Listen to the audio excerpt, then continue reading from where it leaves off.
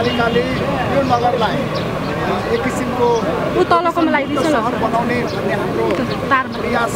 काठमाडौँमा मङ्गलबारदेखि सम्पदा यात्रा बस सञ्चालनमा आएको छ। काठमाडौँ उपत्यकामा रहेका प्रमुख सम्पदा क्षेत्रको प्रवर्धन गर्ने उद्देश्यले सरकारले सुरु गरिएको बस सेवाको ललितपुर पुल्चोकमा पर्यटन मन्त्री किराँतीले शुभारम्भ गर्नुभयो। पुल्चोक स्थित पर्यटन बस पार्कबाट सुरु हुने सम्पदा यात्रा बस दरबार मार्ग नारायण हेटी दरबार स्वयम्भू लगायतका स्थान हुँदै पूर्ण पुल्चोकसम्म आउने छ। परीक्षणका रूपमा सुरु गरिएको सम्पदा यात्रा बसको यात्रा एक सातासम्मका लागि निशुल्क गरिएको पर्यटन मन्त्री किराँतीले जानकारी दिनुभयो। उहाँले बागमती प्रदेशसम्म समन्वय गर्दै छिट्टै भाडा दर तय गरिने बताउनुभयो। किराँतीले सम्पदा यात्रा बस सञ्चालन गर्न पनि निकै कठिन भएको भन्दै यसलाई निरन्तरता दिनुपर्ने धारणा राख्नुभयो।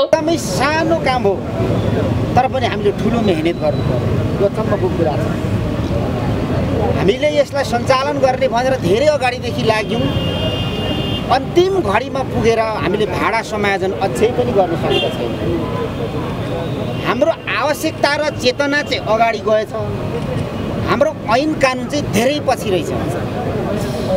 यति धेरै पापड पेल्नु पर्यो यति काम गर्नुको निम्ति। अहिले पनि भाडा निर्धारण भएको छैन।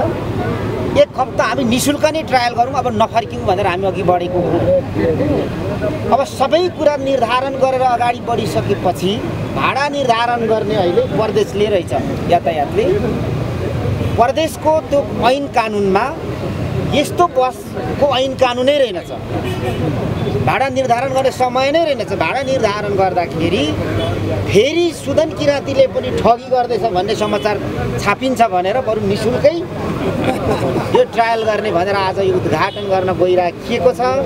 सबैले आफ्नो क्षेत्रबाट यसको प्रचार यसको प्रवर्धन र विकासको निम्ति लागौँ भन्ने कुरा अघि भइसकेको छ। धेरै कुरा छैन। दुई तिनवटा स छ मेरो। सहरको सम्पदा क्षेत्रमा सधैँ सफा राखेर सधैँ सफा राखेर यो साझाले बस कुदाइदिनु पर्यो यसलाई चाहिँ साँच्चै नै हाम्रो पाहुनाहरू आउँदाखेरि उनीहरूलाई आनन्द महसुस पनि होस्। सबैलाई त्यस्तो किसिमको झन्झटिलो कामहरू नहोस् व्यवहारहरू नहोस्। र आजदेखि यो ट्रायलको रूपमा उद्घाटन हुँदैछ। यसलाई नरोकी सधैँ अझै थपेर जाने कुरामा मेयर साहबको पनि प्रतिबद्धता छ। हामी सबैको प्रतिबद्धता छ। हाम्रो निजी क्षेत्रबाट पनि त्यो हामीलाई सहयोग हुनेछ भन्ने कुरा राख्न चाहन्छु र आजदेखि यो उद्घाटन भएको उद्घोष गर्न चाहन्छु। सम्पदा घुम्ती सेवा अन्तर्गत पहिलो चरणमा साझा यातायातका दुईवटा विद्युतीय बस सञ्चालनमा हुनेछन्। लगानी छ त्यो लगानी भनेको ती र अहिले यो हाम्रो यो सम्पदा व्यवस्थापन छ यो चाहिँ नेपाल सरकारको योजना हो साझाले अगाडि बढाएको तर हाम्रो पनि यसमा चाहिँ मनैकै लगानी छ यो नगरलाई ऊ तलको लगाइदिन्छ ल सहर बनाउने भन्ने हाम्रो प्रयास छ सोही प्रयास अन्तर्गत हामीले चाहिँ महानगरपालिकाले अब उपरान्त कुनै पनि गाडी किन्दाखेरि त्यो चाहिँ भेहिकलै हुनेछ भन्ने हामीले घोषणा गरिसकेका छौँ र सोही बमोजिम मेरो गाडी पनि भेहिकलै छ र र यो सन्दर्भमा चाहिँ हामीले साझासँग पनि सहकारी गरिआएका छौँ। हालसालै मात्रै हामीले साझालाई चाहिँ लगभग हामीले यी भेहिकल्सको व्यवस्थापनको निमित्त हामीले नौ करोड रुपियाँ दिइसकेका छौँ। यसबाट चाहिँ हामीले यो ललितपुर महानगरको भित्री सहरमा हामीले चाहिँ सटल बस चलाउने यी सटल बस चलाउनुको निमित्त त्यो पैसाको हामी सदुपयोग गर्ने गइरहेका छौँ।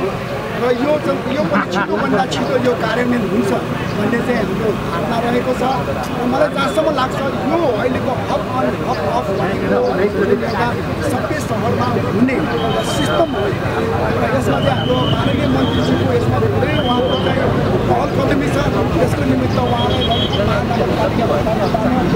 धेरै धेरै धन्यवाद।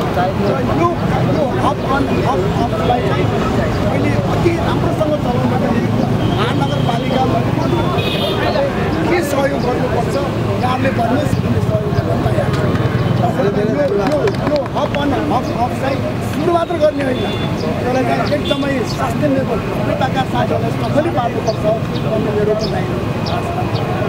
त्यो पनि हामीलाई थाहा छ। र यो चाहिँ परीक्षण कालमा छ यो परीक्षण सफल हुनुपर्छ त्यो पनि हाम्रो प्रयास हो।